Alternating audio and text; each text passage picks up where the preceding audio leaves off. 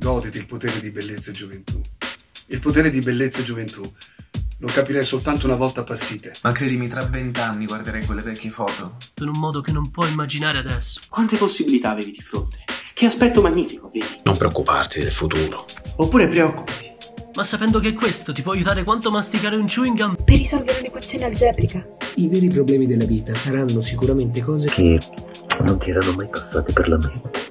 Di quelle che ti pigliano di sorpresa alle 4 di un pigro martedì pomeriggio. Non perdere tempo con l'invidia. A volte sei in testa, a volte resti indietro. La corsa è lunga, ma. Alla fine è solo con te stesso. Ricorda i complimenti che ricevi. Scottati gli insulti. Se ci riesci veramente dimmi come si fa. Non sentirti in colpa se non sai cosa vuoi fare della tua vita. Le persone più interessanti che conosco a 22 anni non sapevano che fare della loro vita. I 40 anni più interessanti che conosco ancora non lo sanno. Forse ti sposerai, o forse no.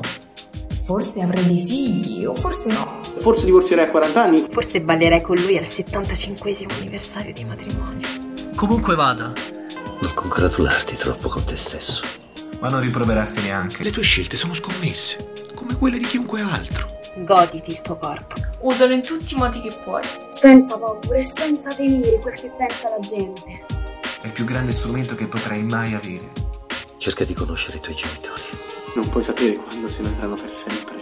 E tratta bene i tuoi fratelli. Sono il miglior legame con il passato e quelli che più probabilmente ti aiuteranno in futuro. Renditi conto che gli amici vanno e vengono, ma alcuni più preziosi rimarranno.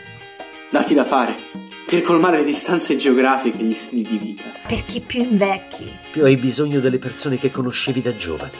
Sii cauto nell'accettare i consigli. Ma sii paziente con chi li dispensa. I consigli sono una forma di nostalgia. Accetta il consiglio. Per questa volta.